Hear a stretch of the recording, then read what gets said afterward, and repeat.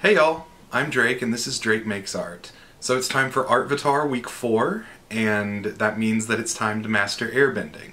And to do that I have decided I'm going to dive into spray paint art.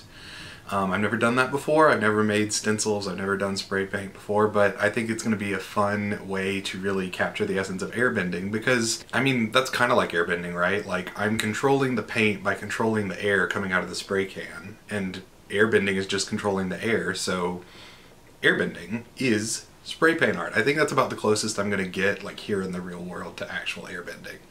So let's get started.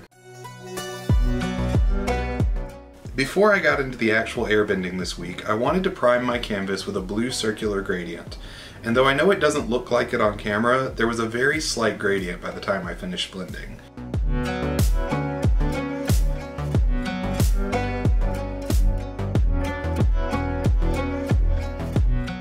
Next, I hopped into Illustrator to create my stencil.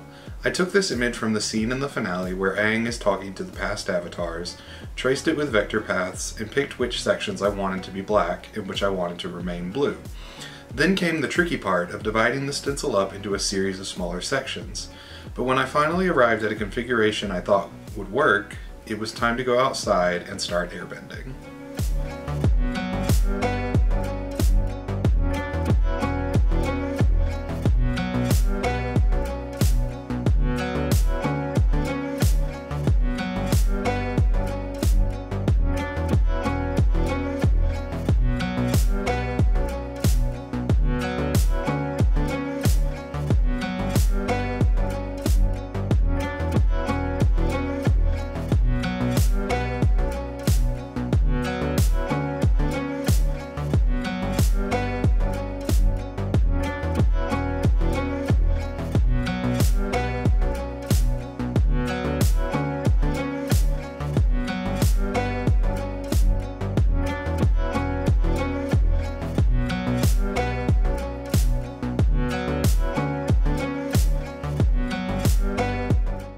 So here is the final result.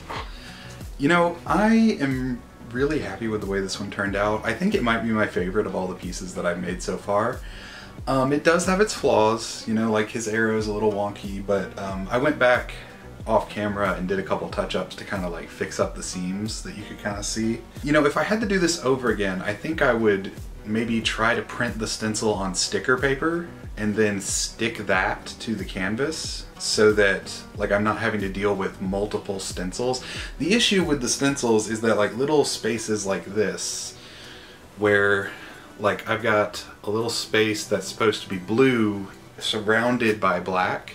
I have to split that area into two separate stencils so that there's always an edge touching the edge of the stencil. Otherwise, like I don't have a way to hold that piece of paper in place while I spray paint over it. Um, I hope that makes sense. But if I did that with sticker paper, I could actually just stick it to the paper, spray paint over it, and then peel the paper off and it would still be there. Um, so if I have to do this again, I think I might try to do that. I did enjoy the process. I've never used stencils, but I mean, other than like children's stencils, you know. But uh, I enjoyed this process. I think making stencils might be my new favorite thing. Like that was a really fun process going through all of that.